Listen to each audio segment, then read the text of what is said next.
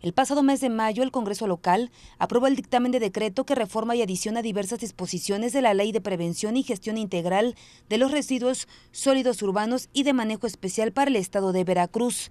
A partir del 1 de enero de 2020, los comercios deberían acatar dicha disposición y ser notificados por los ayuntamientos, derivado a las sanciones que se puedan ser acreedores al no respetarla. En el mercado Jauregui, los comerciantes aseguran que es una opción positiva y se apegarán a la ley, regresando a métodos de envoltura como en años pasados, donde utilizaban el papel de estraza o periódico para envolver los productos, mejor conocido como un cucurucho. Ya, ya la vamos a hacer. Pues desde el primer de, empezando el año, nos dijeron que ya. No, no, porque ya están conscientes, saben, estaban este, avisadas.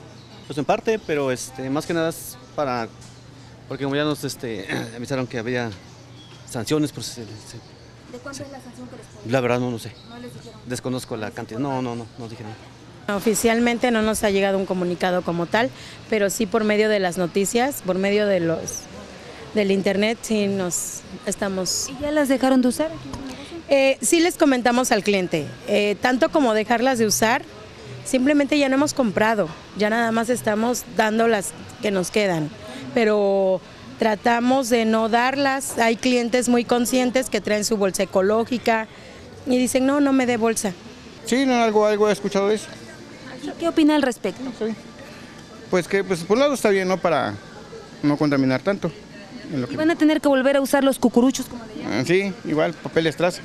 Ante esta nueva disposición legal, los ciudadanos la aceptan y recurren a comprar los morrales, canastos o bolsas reciclables, ventas que se han incrementado hasta en un 40%. Pues no tanto, ¿eh? pero, pero sí, sí se ha vendido, ¿eh? sí, poco a poco, sí, no así el 50 que digamos, pero 40, por ahí sí va, no, no es mucho, pero sí, gracias a Dios ahí está. Con imágenes de Eliaquín Salazar, Sara Landa, Mega Noticias.